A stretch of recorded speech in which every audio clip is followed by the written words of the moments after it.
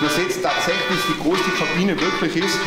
Und wäre die Kabine rechteckig, wäre sie viel zu groß. Der Trainer könnte Wir sind hier in unserer zukünftigen Kabine und es ist ganz schön eindrucksvoll. Äh, die Jungs hier sind schon ziemlich weit gekommen.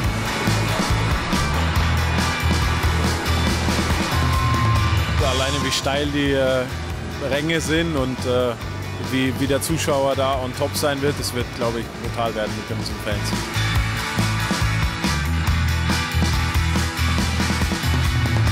Meine erste Reaktion war, dass äh, es einfach gigantisch aussieht.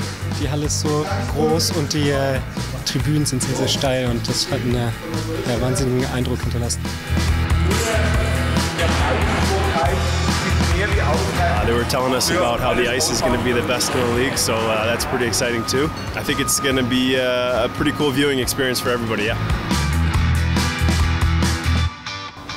Ich hoffe, dass die Halle voll sein wird, aber ich glaube sicher, dass das äh, das Nonplusultra in Deutschland wird. Ähm, und ja, ich freue mich sehr drauf.